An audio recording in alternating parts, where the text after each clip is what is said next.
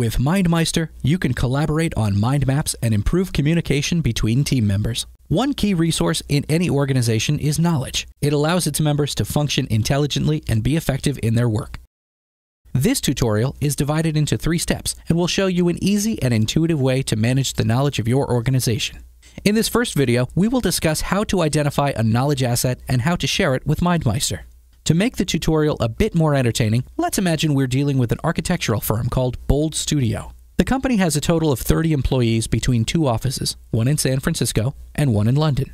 Bold Studio is doing a lot of commercial efforts to gain new projects, and four of their senior architects two from San Francisco and two from London, spend a considerable amount of time visiting clients, presenting the virtues of their company, preparing commercial proposals, and answering questions. Let's look at the tools and files they use to do this work. The three most commonly used files are a presentation of the company, the key buildings designed by Bold Studio, and a template of the commercial proposal.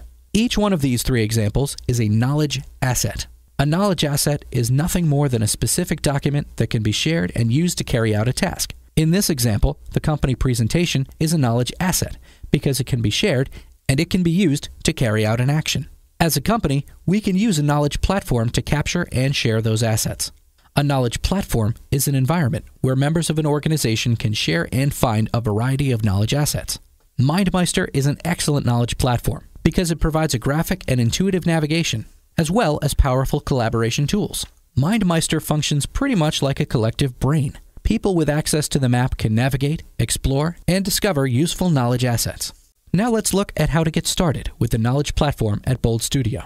We first create a new mind map and call it Sales. Here is where we'll add all the knowledge assets related to sales. The first asset we add is Company Presentation for Clients, which we can create by clicking the plus symbol or by hitting Insert on the keyboard. This way, our first topic in the mind map is created, and we can go ahead and call it Company Presentation for Clients. Once the topic is there, we only have to upload the file to the topic. By doing so, we make it available to anyone with access to the mind map sales. There, we've just shared our first knowledge asset. Now let's look at these other assets the company already has the one page summaries of key projects.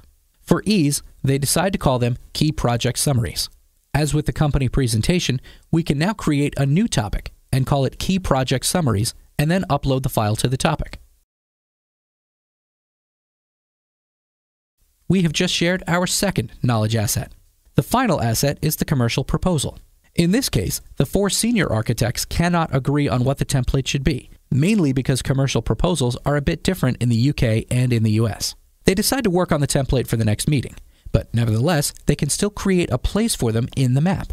In this case, we can create a new topic called Commercial Proposal, even if we don't have anything to upload yet. This is still useful, as everyone in the company will know that a commercial proposal will come, but it's not yet ready.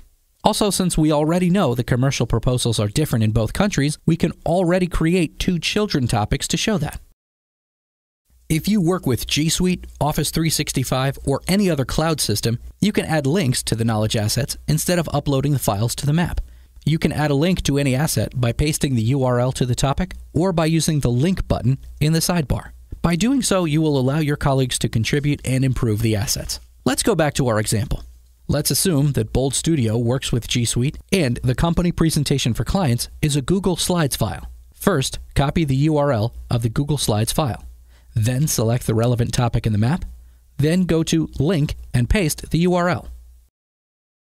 We can do exactly the same with the key project summaries and add it to the map.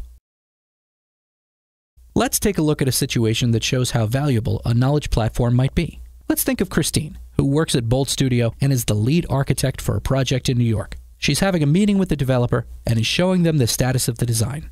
In the room, there are a number of senior executives, and they are impressed with the work done. During the meeting, one of the executives decides to talk to Christine about this other potential project, a new office building in Chicago, and tells her that they would like to consider Bold Studio for the job.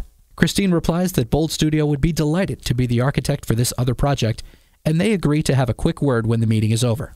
After the meeting, Christine tells the executive that she would like to give him a short presentation about the company and some relevant projects.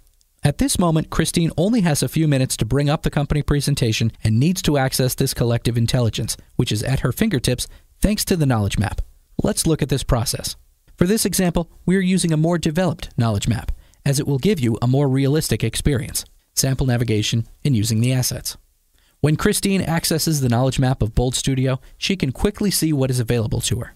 At first glance, she realizes that there is a company presentation for clients, as well as a deck of key projects. She opens both assets and makes a local copy. From the Key Projects deck, she decides to use only two of the projects the one that is an office building and the one that is a cultural building in Chicago. Initially, she was looking for the company presentation and some relevant projects, but she also discovers two other useful assets the CV of the principal architect in charge of office buildings and the company brochure, which she will email to the client straight away. This is a key feature of Mind Maps that no other knowledge platform can easily provide finding things you didn't know existed.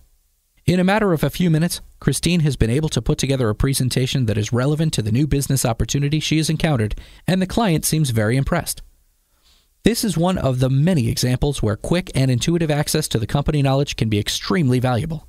All right, in this first tutorial, we have learned what a knowledge asset is and how to capture them in a mind map. We have also seen how to navigate and access those assets and how useful it was for Christine.